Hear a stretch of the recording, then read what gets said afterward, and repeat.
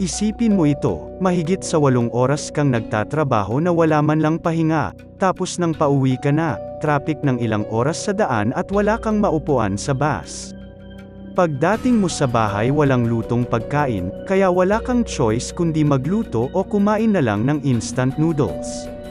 After mong kumain ay dumiretso ka na sa kama para matulog, pero ang diwa mo na naman ay buhay na buhay pa.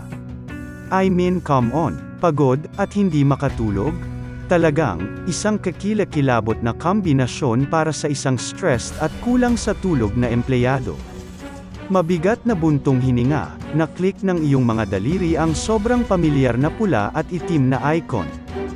Netflix. Sa isip-isip mo, mag-browse lang naman ako kung may mga bagong palabas hanggang makatulog ako. Pero meron isang palabas na nahumaling ang mga mata mo, at ang daliri mo ay hindi mo makontrol na pindutin ito. Isang K-drama na naman ba ito?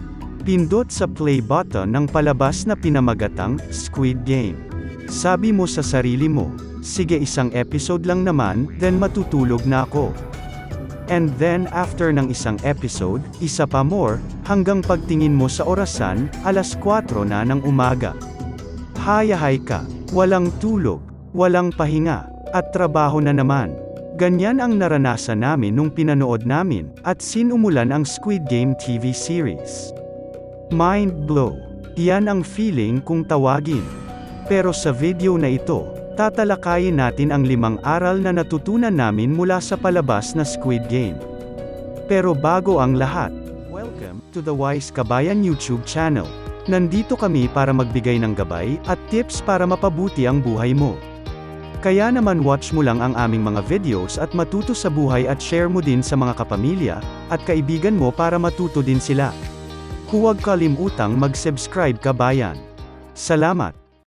Sa direksyon ni Hwang Dong-hyuk, ang Squid Game ay isang 9-episode na Korean drama, na naglalarawan sa isang grupo ng mga manlalaro na ipinagsapalaran ang kanilang buhay, sa isang misteryosong survival game, sa halagang 45.6 billion won, o 36,000 US dollar plus plus.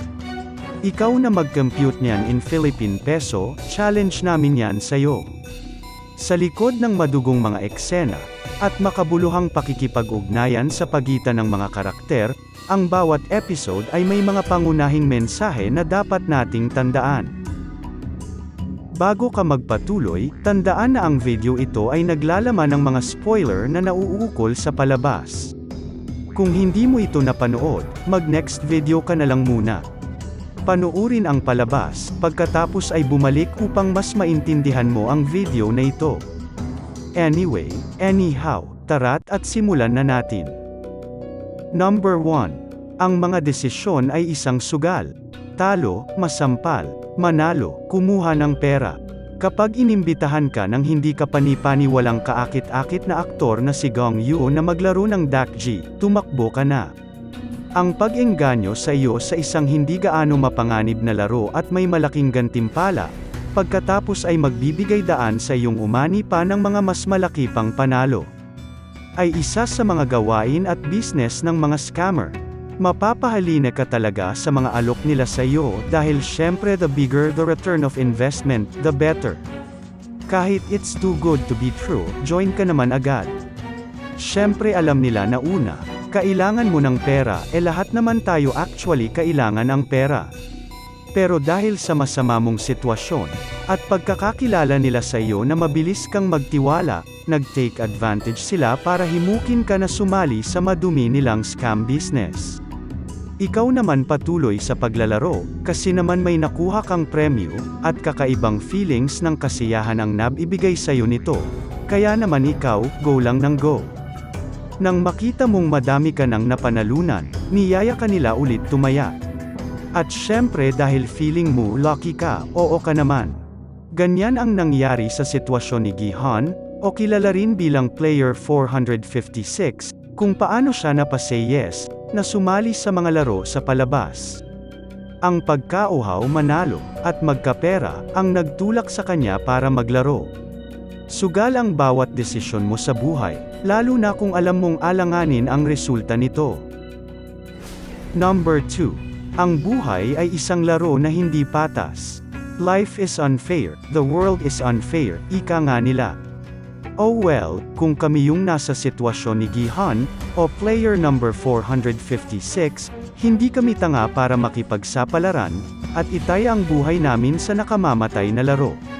Siyempre, dahil naniniwala kami, na lahat tayo may kakayan ng makaahon sa kahirapan. Yan ang naisip namin bago namin pinanood ang episode 2 na, Pinamagatang Hell. Ito, para sa amin, ang pinaka-memorable na episode, dahil nagbigay ito ng lalim sa mga karakter. Sinagot nito ang nag-aalab na tanong, sinong matino ang makikipagsapalaran sa laro, na alam mong ikakamatay mo para lang sa pera. Sila ang mga taong sakim, tamad, tanga, at makamundo. Marami sa atin ang may pribilehiyo sa ating lipunan at pinansyal na katayuan. Kung saan hindi natin inaalala kung may pangkain ba tayo bukas, may matitirahan na maayos, at kung may pambayad sa hospital o sa gamot, kung may magkasakit, o mawalan tayo ng trabaho. Ngunit kung ang halaga mo ay kasing kahulugan ng mga numero sa iyong bank account, at walang tumulong sa iyo nung namatayan ka ng mahal sa buhay, nawalan ng trabaho, at tahanan, ano pa ang dahilan mo para mabuhay? Ang depresyon ay kumakain sa emosyon at pag-iisip mo, at ang pagsali sa mga laro ay nakakaakit dahil kahit papaano sa laro, sila ay tinatrato bilang pantay-pantay na tao sa lipunan, walang boss, walang hari o reyna, walang entitled. Hindi tulad sa totoong mundo, minsan kung tratuhin ka ay para kang masahol pa sa ipis. Number 3. Huwag magtiwala ng lubusan. Sige, nasa laro ka. Gayun din ang iyong matalik na kaibigan, ngunit iisa lang ang dapat manalo. Ano ang gagawin mo kapag mayroon kang mga impormasyon tungkol sa laro?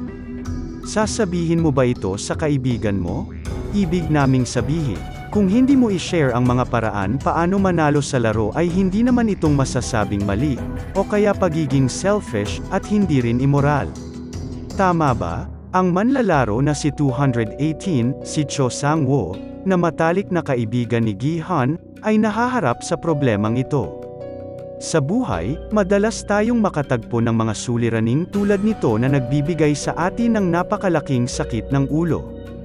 Para mabawasan ang pagkwestiyon kung tayo ba ay nagiging immoral, masama, mali, kinukumbinsi namin ang aming sarili na tama kami sa moral at mas mabuting manahimik na lang at tingnan kung ano ang mangyayari, kahit na maaaring mamatay ang iyong kaibigan.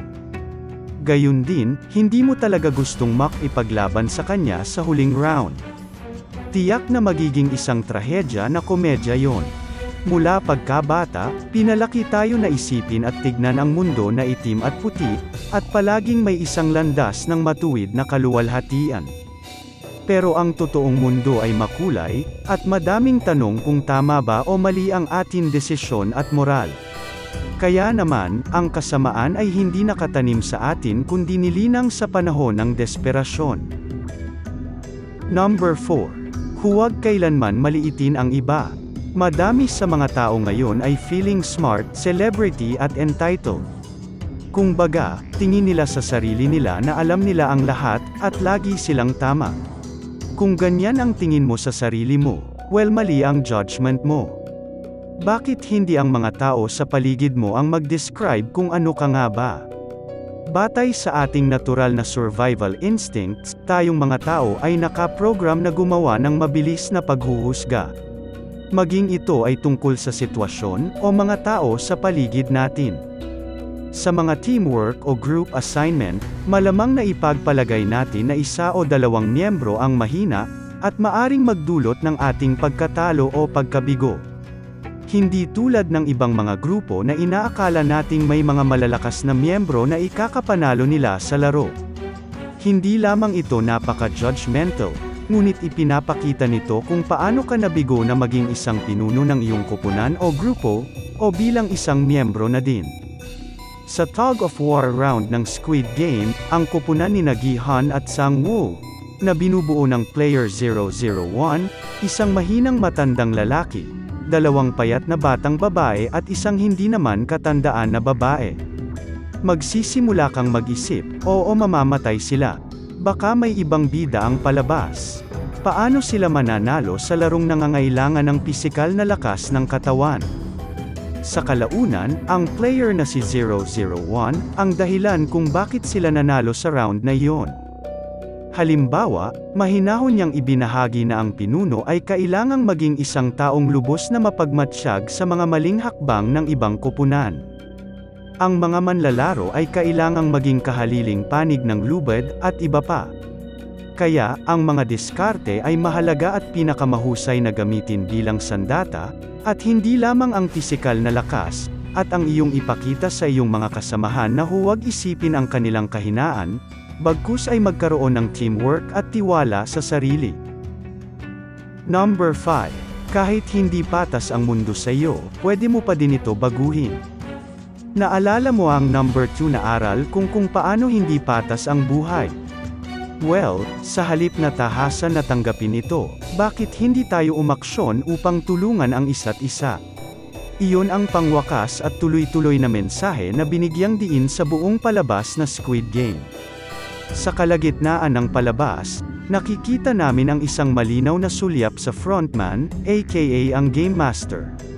Walang pag-aalinlangan niyang pinaalis ang mga manlolokong kawani ng laro at si Player 111. Isang doktor sa laro na tumulong sa mga manlolokong kawani, na anihin ang mga lamang loob ng namatay na manlalaro, kapalit ng mga pahiwatig sa mga susunod na laro, mula sa equation, na nagbibigay diin na ang ang laro ay dapat na isang pantay na lugar hindi katulad ng mundo sa labas. Sa huling episode din, naglaro at nagpustahan sila Gihan at Mastermind o Ilnam, o Super Major Spoiler Alert, Player 001 kung may tutulong sa isang taong walang tirahan sa mga lansangan na pwedeng nang mamatay sa lamig. Kung meron isang mabuting tao ang magliligtas sa kanya. Sa kabuuan, hindi sa wala tayong magawa sa mga trahedya dahil tao tayo, at nangangahulugan iyon na may potensyal tayong maging mabait sa isang hindi mapagpatawad na mundo. Meron tayong kakayanan na baguhin ang mapait, at hindi patas na mundo ng tao. Kailangan lang natin na magtulungan, magtiwala sa tamang tao. Manalig sa Diyos na siyang magpapakita sa atin ng tamang landas ng buhay at yaman ng buhay.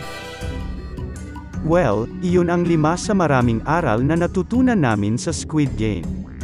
Kung hindi mo pa napapanood ang palabas, ito ang iyong hudyat para hindi makaligtaan ang isa sa mga pinakamalaking hit sa Netflix. Pero kabayan, hinay-hinay lang sa panunood e-manage ang oras para hindi naman maabala ang ibang gawain mo sa buhay. Be wise kabayan. Kung nagustuhan mo ang video na ito, share mo naman para makapagbigay kaalaman din sa iba. For more tips para ma-inspire ka sa buhay, makaahon sa kahirapan at makapag-ipon. Mag-subscribe ka na sa aming YouTube channel. Hanggang sa susunod ulit. Salamat sa panunood ng video na ito. At kung nagustuhan mo ito, huwag kalimutan na i-like, i-share at mag-subscribe.